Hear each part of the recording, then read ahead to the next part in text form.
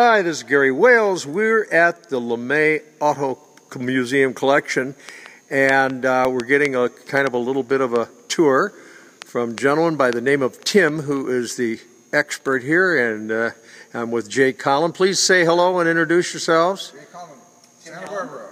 And Tim? Okay, we want to. oh, this is a little bit of everything here. We've, it's an amazing collection. I'm.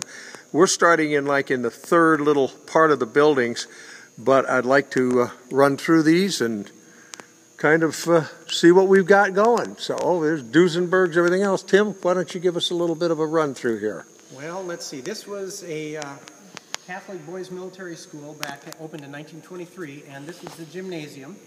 And Harold LeMay uh, bought the place, so um, I think it was back in 92, and that gave him a place to store some of his vehicles. Uh, although we have about 550 cars here uh, on display today, there's a little over 2,000 in the collection right now. The rest are in outbuildings elsewhere. There just isn't room here on the property right now to collect them all. Tim, how many uh, automobiles did uh, Mr. LeMay originally collect?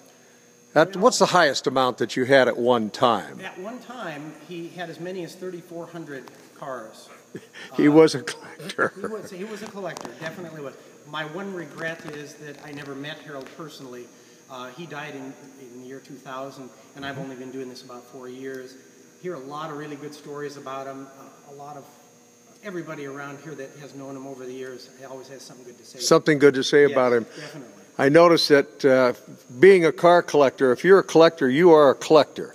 We just went through an amazing collection of uh, something I hadn't even thought about collecting, and that was the uh, water nozzles for hose nozzles. And it's just absolutely amazing collection. But I just I want to come by and just show a few of the things that really make it interesting because not everybody can relate to every car, but they always have something that they can relate to, a family memory or something, uh, like a, a, song or a, or a kit or whatever heck it may be. It's just, it's absolutely amazing. And this is a, a fantastic, fantastic place. I'm looking through a, a window here that's looking into another building, and there's uh, pickle helmets from World War One, and just it's just everything. There's so many interesting things. Here's a, a lovely collection of of uh, hubcap grease uh, uh greasers, uh, uh, caps, and it's just really truly fantastic.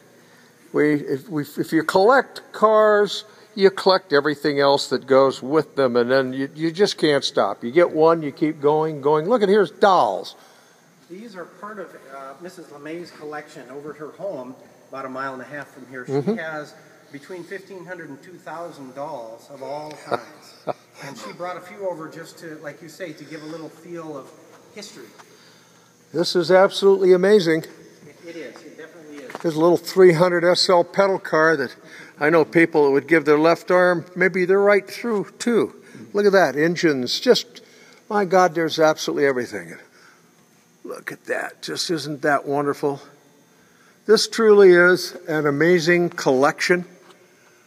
And there's enough room where you can put some of the great big signs and uh, memorabilia in here. Just, just absolutely wonderful. Look, he's got them stacked up here. It's just, it's, uh, it's a wonderful. Here's a DeLorean and a Tucker and a Duesenberg. Now these are three rare old birds, and they're all the cars that we've seen so far are absolutely wonderful. And I bet every one of them drive and are used. The, indeed, everything in here is a driver, and we do use them, take them out for shows and so forth, so other people can see them even if they haven't yeah. come to the collection. That's going to be difficult to remove 500 cars and keep running. It's, it's a big task. We have almost 500 volunteers out here, two paid employees here at uh, LeMay Family Collection and 500 volunteers. We need all of those volunteers for the annual car show the last Saturday in August. Yeah. It is just a big volunteer effort. It's, it's really I know this is particularly cool for Jay because he was in the all business, as they say, and uh, all the big signs. And I, I, know we're going to run into a million gas pumps and petrol million and everything. It's just really, truthfully, a wonderful collection. And I'll probably shut it off here for the time being. But what a wonderful collection of cars, real cars from real people that you can really enjoy. And we've all seen these and and uh, are enjoying them. And Tim, I want to thank you again. I was kind of spin it around one more time with I hope I'm not making everybody ill from going too fast. But Tim, you're doing a terrific job, and uh, congratulations to both the LeMay family and you and your people and docents for uh, perpetuating this uh, wonderful collection, allowing people to see it. Uh, being with the Petersen, we have a reciprocal agreement with the uh, LeMay collection, and they allow us to come down here and uh, see this. And we got a little kind of a private tour, which is wonderful. And our uh, want to say thank you again, and uh, here away we go.